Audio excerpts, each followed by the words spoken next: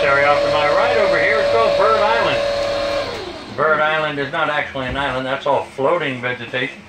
But that floating vegetation is such that it houses a lot of insects.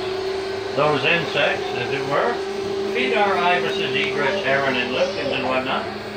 But it also feeds the little tiny fish from underneath the water. Once they get their fill, they will come out, and when they do, the birds that are living in the trees right now will come down and get their feast.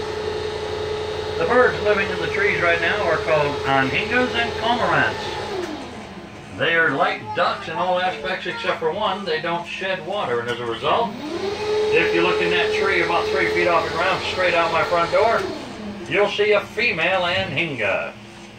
We know it's an anhinga because it has a straight beak on it, and we know it's a female because it has a golden tan throat. That is how they dry off.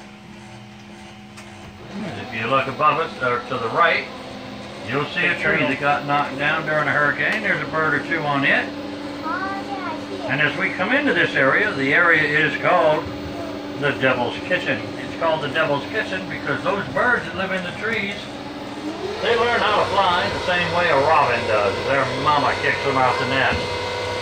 If they do not successfully fly, they will float. And if they float, they may be dinner for, for an alligator or something. More than likely just an alligator.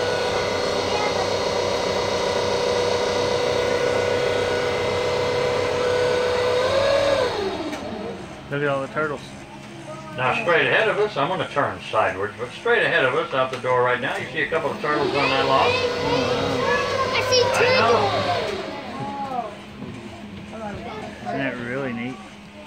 Now you notice those turtles, uh, two different colors, they're the same type of turtle.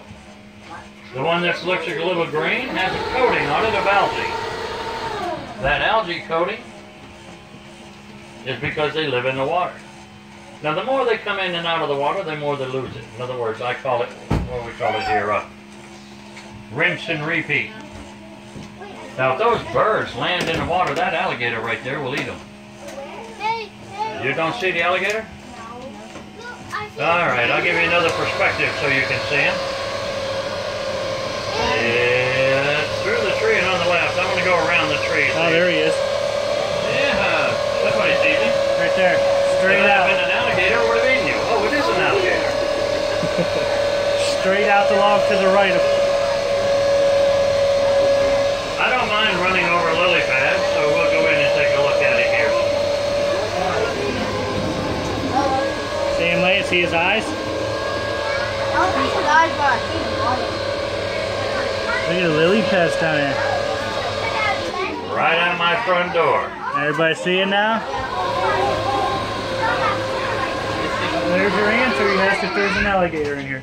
Now, are there any children without any tickets? Don't get ahead of me now. If you have a ticket, I have to account for you. If you do not have a ticket, I do not have to account for you. Which means parents will have options. Not suggestions, but options. Now, I'm going to ask a question. Does anybody know how to measure the length of an alligator? You measure between its eyes and the tip of its snout. I saw a tree down and then kind of seaweed.